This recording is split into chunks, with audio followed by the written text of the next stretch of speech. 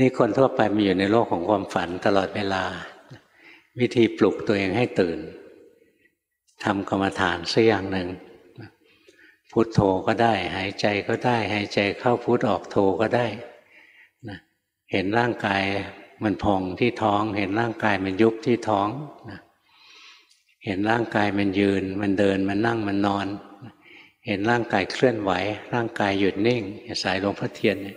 เห็นร่างกายเคลื่อนไหว ร่างกายหยุดนิ่งไหมมันเคลื่อนแล้วมันหยุด เคลื่อนแล้วหยุด เคลื่อนแล้วหยุด เคลื่อนแล้วหยุด เคลื่อนแล้วหยุด รู้ร่างกายที่เคลื่อนไหว ร่างกายหยุดนิ่ง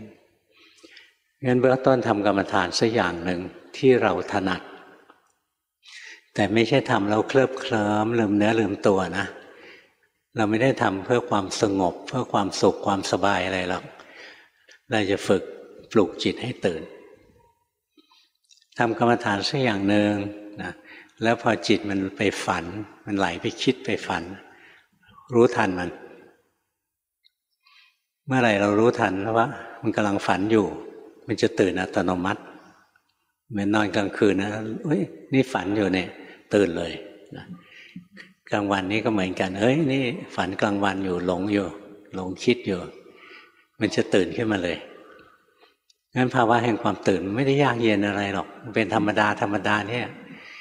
เมื่อไหร่ไม่หลับไม่ฝันไปนะ ไม่หลงไปในโลกของความคิดความฝัน เมื่อนั้นจิตก็ตื่นก็แค่นั้นเอง แล้วถ้าเมื่อไหร่เรารู้ทันว่าจิตเราหลงไปอยู่ในโลกของความคิดความฝัน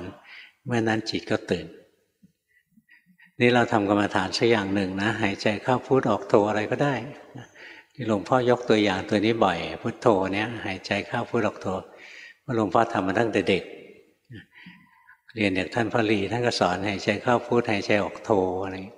ครูบาอาจารย์บางองค์ท่านก็พุทโธอย่างเดียว หลวงพ่อเทียนไม่เอาพุทโธเลย พุทโธแล้วฟุ้งซ่านท่านใช้ขยับมือ ขยับมือแล้วพอจิตมันฝันให้จิตมันหลงไปคิด ท่านรู้ทัน จิตคิดก็ดับจิตรู้ก็เกิดนี่วิธีฝึกให้จิตเป็นผู้รู้ขึ้นมา ถ้าไม่มีจิตเป็นผู้รู้ทำวิปัสสนาไม่ได้จริงหรอกจิตเป็นผู้คิดผู้ฝัน มันจะไปเห็นความจริงของกายของใจได้ไง มันจะเห็นความจริงได้ มันต้องไม่หลงไปอยู่ในโลกของความคิดความฝัน